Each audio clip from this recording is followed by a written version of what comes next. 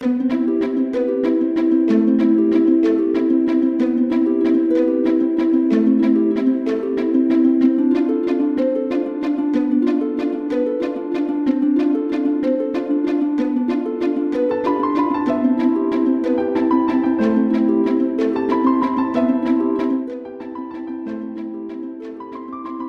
að lesa eitthvað skemmtilegt? Deildu því þá með okkur. Taktu þátt í örmyndasamkeppni Borgabókasapsins fyrir 13 til 20 ára, skilafrestur 31. oktober.